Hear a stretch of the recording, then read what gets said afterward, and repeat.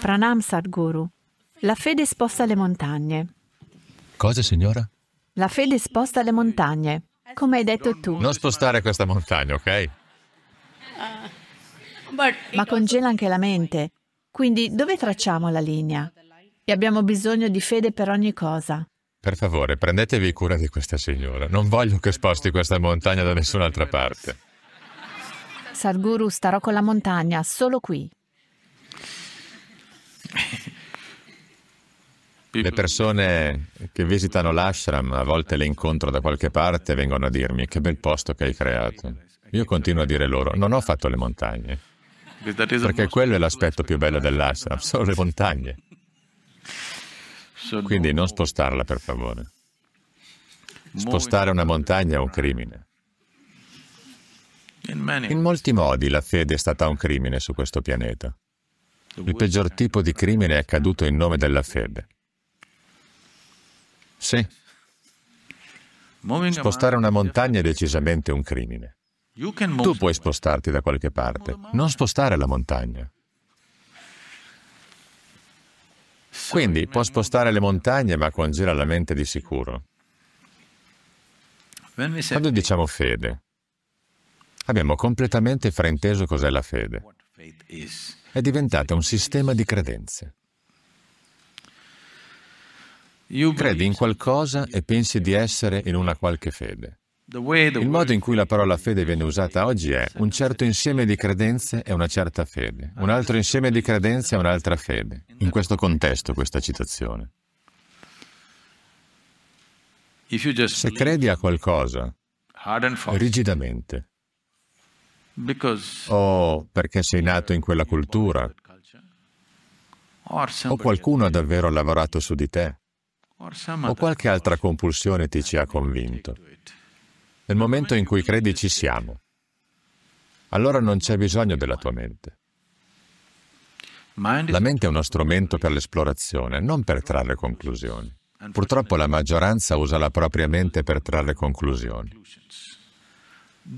La mente non serve a trarre conclusioni, è uno strumento per l'esplorazione affinché tu possa continuare a osservare la vita in modi sempre più profondi, modi più profondi di esperienza e conoscenza.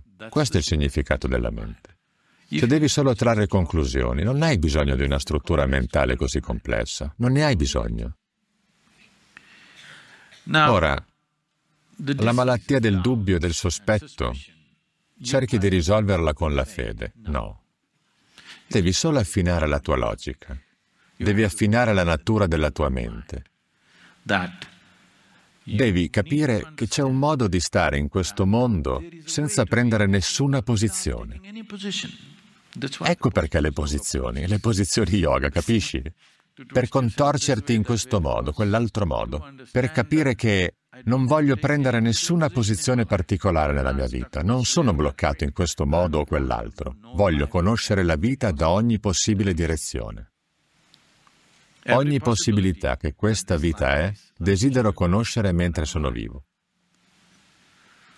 Se questo deve accadere, hai bisogno di una mente flessibile, una mente che non ha preso posizioni, una mente che non si occupa di credere o non credere a qualcosa. Vedi, non pensare che non credere sia un'opzione. Credere e non credere non sono due cose diverse. Sono credere positivo o credere negativo. Ecco cosa sono. Due modi diversi di credere. Il credere e non credere. Quindi non stiamo parlando di fede contro ateismo. Credere contro non credere. No. Stiamo parlando di perché non puoi imparare a non prendere una posizione su niente. In questo momento per condurre una particolare attività prendiamo posizioni. Ma non c'è bisogno di prendere posizioni per vivere. Per essere vivi qui. Se vuoi conoscere la vita, non dovresti prendere nessuna posizione o opinione riguardo a nulla.